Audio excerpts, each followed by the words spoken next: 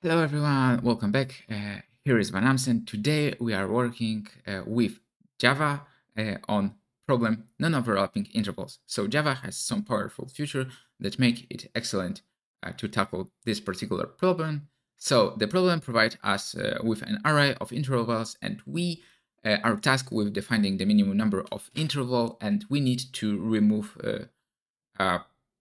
rest of non-overlapping yeah, so to make it uh, non-overlapping. So uh, let me explain it. So for example, yeah, we have some test case and we have uh, intervals like one, two, three, three, four. So interval one, two, interval two, three, interval three, four, and also interval uh, one to three.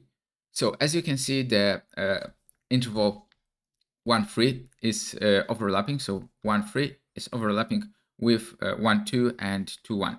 And basically, uh, those, for example, two is exclusive. So uh, one two and two three are non-overlapping. So if we remove this interval from our list, so this interval, uh, then we have non-overlapping three intervals, and we need to remove the minimum number of uh, interval to make those intervals non-overlapping. So uh, return output should be one and what we can do here. So we can use a greedy approach and greedy approach will be great uh, for this particular type of problem where we need to optimize something or minimize.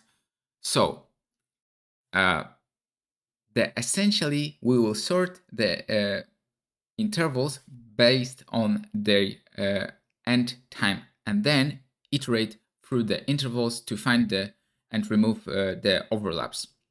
Uh, so uh, let's implement it in Java, yeah?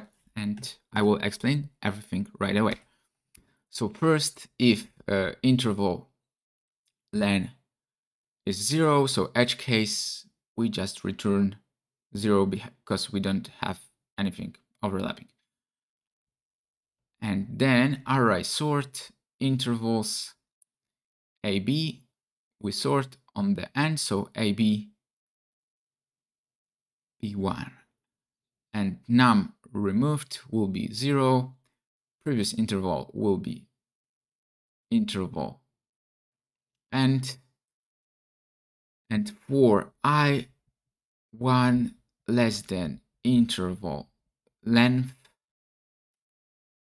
plus if intervals less than previous interval then and uh, then new num removed will be incremented and else previous interval and interval the new interval Okay, so finally we return number of removed intervals. So this is our implementation. Okay, so uh, let's run it and see if it's working for this uh, example one and other test cases. So hopefully, yeah, everything's work perfect. We can run it for uh, unseen test cases and hopefully it will pass as well. Okay, so uh, it's working perfectly.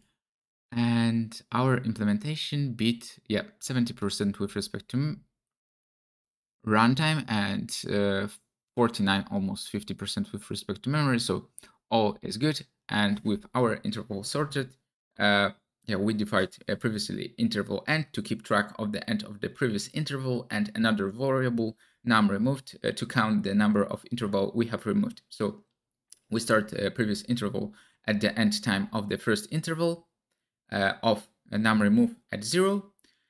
And now comes the main part of algorithm. Yeah, let's make it visible. So we iterate through the interval, starting from the second one.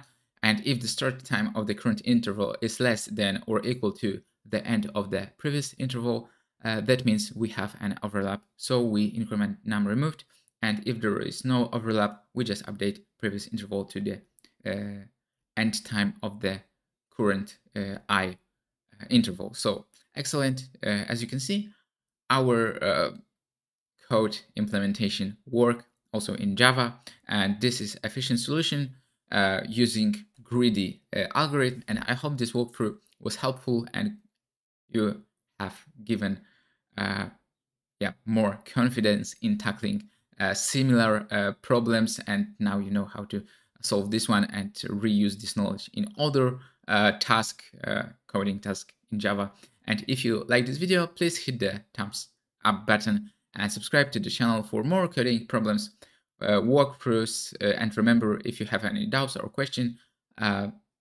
yeah feel free to ask a question in the comment section below and until next time, uh, keep practicing. Happy coding.